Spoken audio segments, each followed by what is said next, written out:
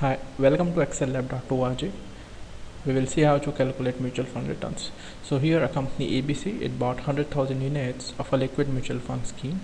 The face value 10 per unit and it bought on 15, sorry, 5th March and the NAV that time 11.5 per unit. Now the company received dividends. So the first it is 1% and on face value it is on 15th March and second 1% on again face value on 30th March.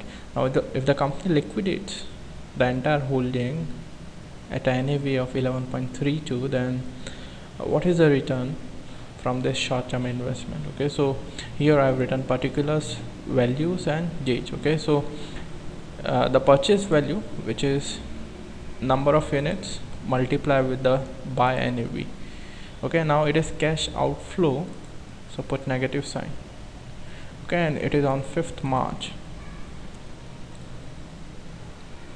Now the first dividend it is 1% okay it is on face value. Multiply with the number of units. And it is on 15th March. Second dividend again 1%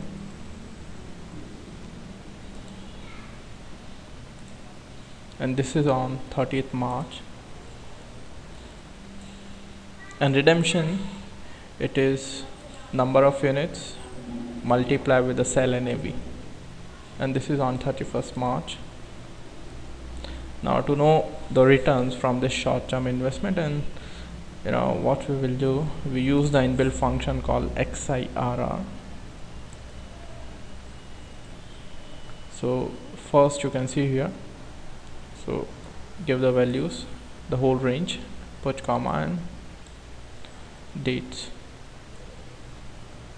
Okay so it is 2%